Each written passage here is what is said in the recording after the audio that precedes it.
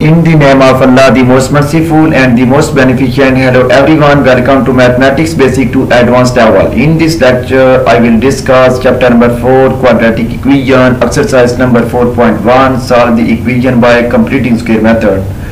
Question number 14, that is most relevant for paper's point of view. So let's start.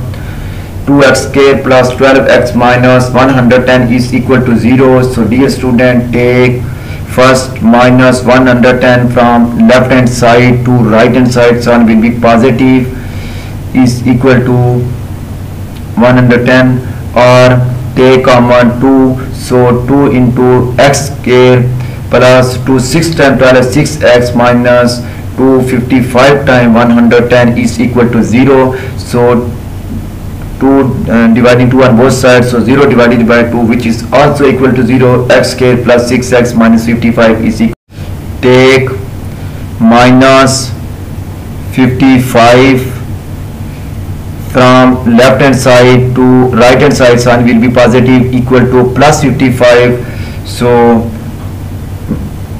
multiplying coefficient uh, of uh, x uh, with half uh, so 6 uh, half is equal to 3 so multiplying so adding 3 whole square on both side so x square plus 6x plus 3 square is equal to 55 plus 3 square. So x plus 6x plus 3 square is equal to x plus 3 whole square. So which is equal to 55 plus 3 square is equal to 9 55 plus 9 is equal to 64 64 is, is the square of 8 so 8 square is equal to 64 taking square root on both sides so square square root of x plus 3 whole square.